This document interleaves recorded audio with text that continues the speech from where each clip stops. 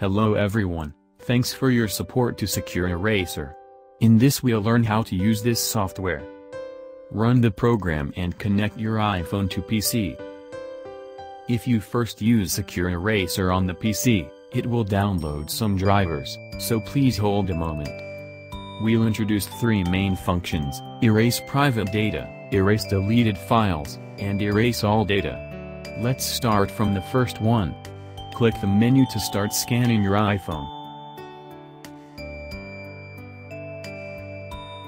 Now you can preview phone data and select the items you want to erase.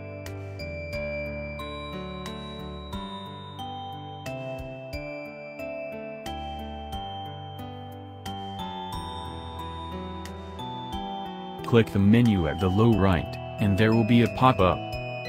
You can choose security level from low, medium to high. Of course, time spent will also increase. So we normally choose by default. Enter delete at the blanket and begin to erase private data. Note that you should turn off Find My iPhone function. The progress will take you some time and your device will restart for several times. If you set a password, you need to unlock the screen.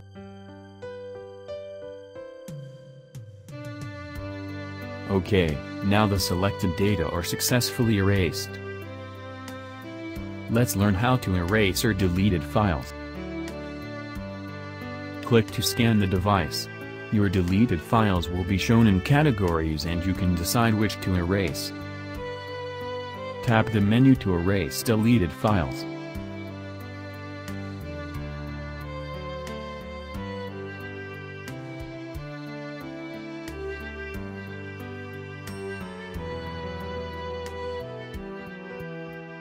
Well, the deleted files are erased successfully. At last we learn how to erase all data. This function will erase all record on your iPhone. So please be sure that you've backed up important data in advance. Enter delete and tap the menu. All the data will be erased. That's all the three main function of Secure Eraser. Thanks for your watching, goodbye.